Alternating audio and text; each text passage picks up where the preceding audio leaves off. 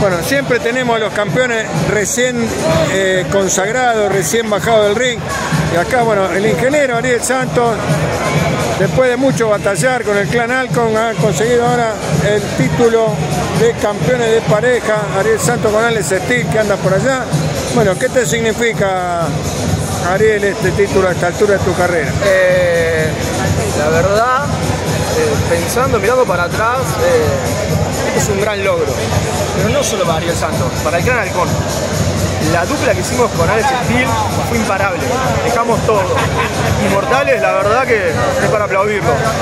Pero nosotros tuvimos ese extra que hace falta para ser campeón. Así que orgullo significa. Esto, orgullo. Bueno, realmente un formato especial, ¿no? Porque lucha de mesa, pero no compuesta de espalda ni nada, sino que había que hacer que los rivales atravesaran las mesas y consiguieron finalmente esto.